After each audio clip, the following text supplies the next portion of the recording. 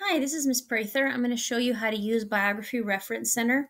You can get to that um, if you're a Hendrix student on your library webpage and then go to Middle School Resources or Research Tools, which is this page. If you um, also, you can just type in catalog.pisd.edu. It will take you to this page and you click on Middle School Library Resources. Either way, you're going to get to this page, and here where it says biography, Biography Reference Center is here in the middle. This is a re resource that's real good if you're trying to um, research a person, especially a historical person.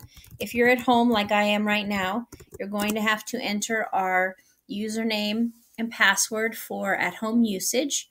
Your teacher and your librarian will be able to tell you what that is. For my students, you can get it on our website, the library website, through a um, password protected page.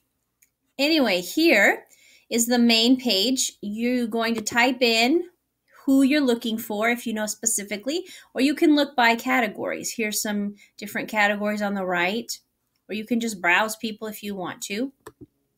But usually if you're using this, it's because you're looking for somebody specific. So let's say I'm going to do Thomas Jefferson. So if I type in Thomas Jefferson, now what I was surprised to find is that you'll see here, it's not the first Thomas Jefferson I'm thinking of. This is Thomas Jefferson Far Farnham, then there's Wood, then there's Van Alstyne. The one I want is the president. And if you look at this, these are all other last names. So I could go through pages and pages and find it, but that takes too long. What I can also do is if I go here to advanced search, I can use the same Thomas Jefferson, which I already have, but I can add here, since I know his occupation was president, I'm going to add that president, and let's see if it narrows it down for me. Um,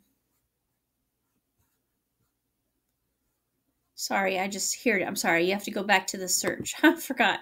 Okay, go back to the search. And now here we go. It tells me Thomas Jefferson, American president. Okay, so when I click on this, it's going to give me a bunch of other articles about Thomas Jefferson. So here's just a real basic synopsis of some of his achievements so that I know I'm on the right person. But when I actually want to read his biography, um, then I need to click on these different links.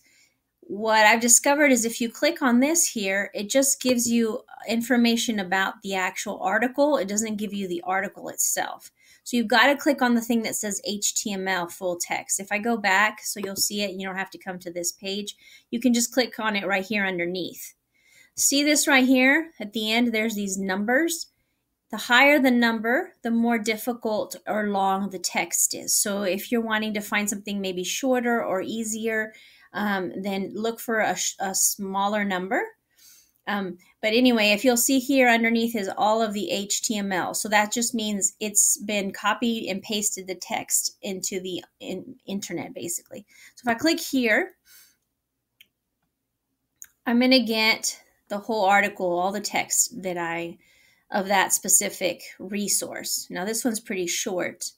Um, I can cite it, and where I went wrong in this resource, see where it says here citation, that's not the citation format that you want if you're doing research. You want to come over here instead to where it has this, and then cite this article, and then we use MLA. So you'll want to copy and paste the MLA.